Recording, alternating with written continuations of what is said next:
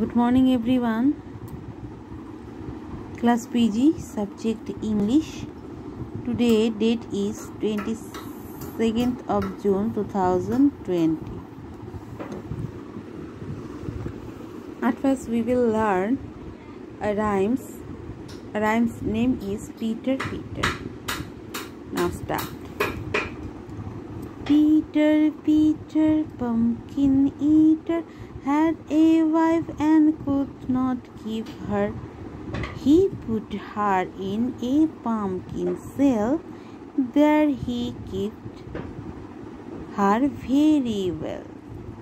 Again, Peter, Peter, pumpkin eater, had a wife and could not keep her.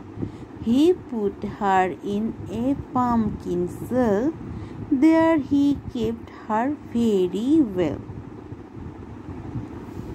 Then we will learn A to Z with words.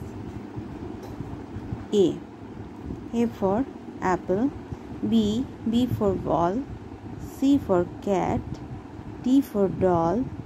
E for elephant, F for fish, G for grapes, H for horse, I for ice cream, J for joker, K for kite, L for lion, M for mango, N for nest, O for orange, P for parrot, Q for queen, R for rabbit, S for sheep, T for tiger, U for umbrella, V for violin, W for watch, X for Xmas tree, Y for yak, Z for zebra.